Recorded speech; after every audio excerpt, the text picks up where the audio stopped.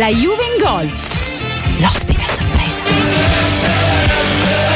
Eh, Questa, questa sigletta ospite a sorpresa non l'avevo ancora sentita. Fabio Germani, ti senti un po' ospite a sorpresa?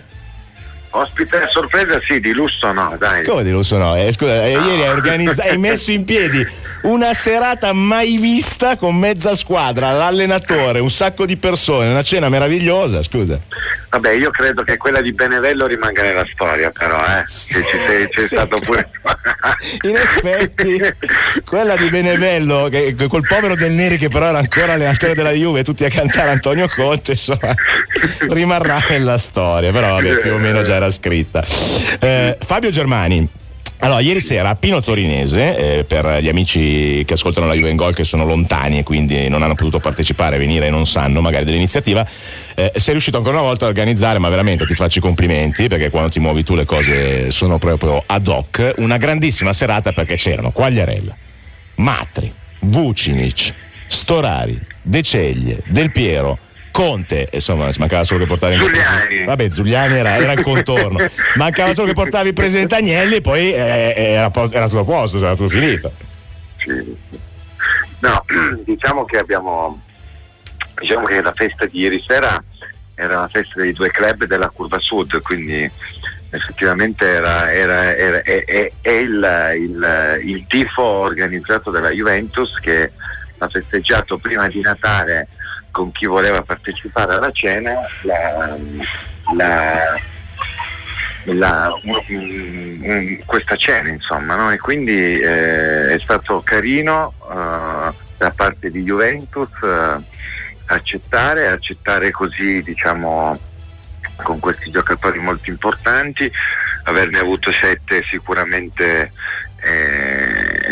risultato importante è stata una bella cena in, in un bel ristorante molto grosso e ci siamo divertiti tutti no? La mucca pazza a Pino Torinese, dove tra l'altro ho scoperto. Che è un'ex discoteca No, a parte che parlare eh, que- no, quello non lo sapevo perché io ormai sono vecchio, però mi ha raccontato appunto che era una, una discoteca abbastanza in, diciamo, no, del, del torinese. Eh, no, ho scoperto invece che fanno il giro pizza quello da 10 euro, cioè finché non dici niente mangi come un maiale. È vero, Eh, è vero. eh, e quindi ci torna, capito? Vabbè, tu mi telefoni e andiamo insieme. Esatto, te la facciamo fuori tutta. Eh, senti, eh, Fabio, tu forse non ti sei reso conto ieri, perché ovviamente avete avuto un, avete avuto un grande affare, c'era giustamente tantissimi tifosi, volevano venire a fare le foto, gli autografi, quindi insomma anche l'organizzazione eh, è importante in queste serate e poi eh, difficoltosa e occorre del lavoro per starci dietro. E quindi magari ti sono sfuggiti dei piccoli particolari che invece io che non avevo niente da fare ho notato, tipo, ti sei reso conto che hai messo a mangiare seduti vicino Conte del Piero? Sì, li ho messi apposta. Eh, ma ti sei reso conto che per tutta la serata ridevano, scherzavano, guardavano, si davano le palle? Cioè, Vabbè, eh, sì, o- onestamente sono- hanno giocato insieme. Sono mm, due bandiere della Juventus, hanno sia uno che l'altro, eh, secondo me, dei grandi meriti per quello che è la Juventus adesso, perché anche se Alessandro sta giocando poco, quest'anno si può dire veramente che eh, sono d'accordo con l'affermazione che dice lui, anche se non gioco mi sento sempre il capitano di questa squadra. Quest'anno più che mai è quello che ha aiutato ad Antonio a fare gruppo, a, a ricostruire quello che è il DNA Juventus e secondo me eh, posso dirti una cosa, io, io cercherei insieme alla Juventus di trovare un accordo e di prolungare questa, questa Sì, storia eh. d'amore che dura per 19 anni. perché sai che nonostante è dato per scontato lo stesso Chiellini oggi a una domanda rispondendo ha detto sì è l'ultimo anno di Alessandro, no, che però è il nostro capitano quindi siamo con lui eccetera, però tutti sanno che è l'ultimo anno, lui compreso. Però inizia a farsi strada tra i tifosi della Juventus, ma sta cosa l'ho un po' sudorata anch'io. Metti che le cose vadano bene e, e ci siamo capiti che cosa vuol dire andare bene. Non è che possono cambiare idea Agnelli del Piero e dargli la possibilità l'anno prossimo insomma, di festeggiare anche un po' di centesimi. eh, io credo che, che- che- che l'unica cosa che abbia bloccato questa- questo contratto sia comunque la Juventus. L'intenzione di Alessandro di giocare c'è ancora e se la Juve non gli dà questa possibilità andrà a giocare da qualche altra parte. Sicuramente non è più un giocatore che hai 90 minuti o che hai 45 minuti, però secondo me è una persona è un giocatore fondamentale che ha fatto la storia della Juve. Io parlando parecchie volte con Antonio Conte, Antonio mi diceva che Alessandro è stato fondamentale quest'anno nello spogliatoio. Che poi, come, come dicevi tu, eh, lo possa vedere di più o di meno in campo.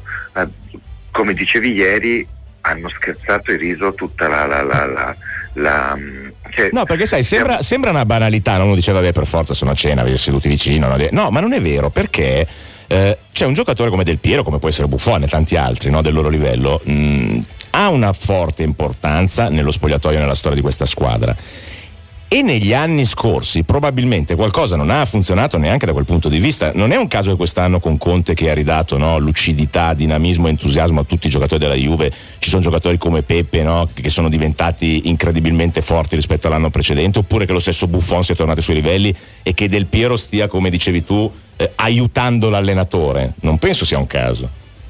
No, non lo è, eh, è una cosa che... Eh,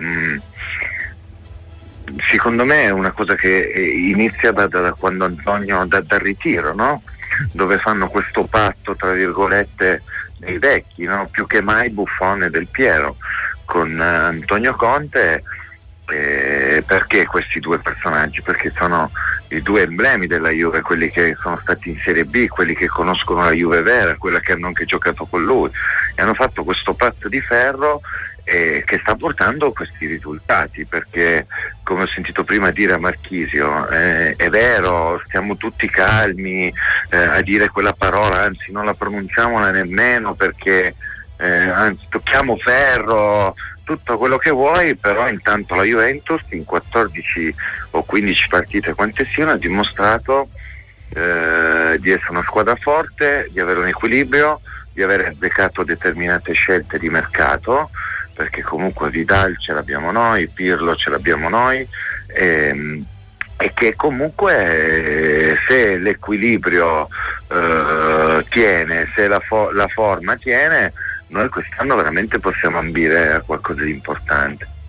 Senti, eh, tu che sei molto vicino tra l'altro ad Antonio Conte, eh, pensi che andando avanti così, cioè ce lo troviamo che non parla e scrive alla fine dell'anno, cioè senza più voce per mesi o...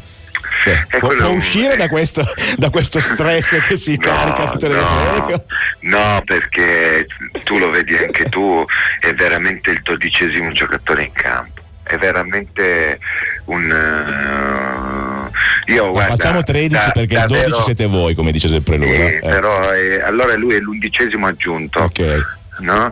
E, ehm, è uno spettacolo vederlo, è uno spettacolo vederlo esultare per la Juve, è uno spettacolo vedere quando un giocatore si mangia un gol e, e le, le, facce che ha. Quella è, è, è, è, la dimostrazione di quanto veramente sia juventino quel ragazzo lì. E secondo me è un predestinato perché è andato, ha chiuso la sua carriera, poteva giocare ancora, ha vinto tanto con la Juve, conosce benissimo quello che è il DNA della Juve sono di famiglia tutti juventini e tornare nello stadio nuovo eh, con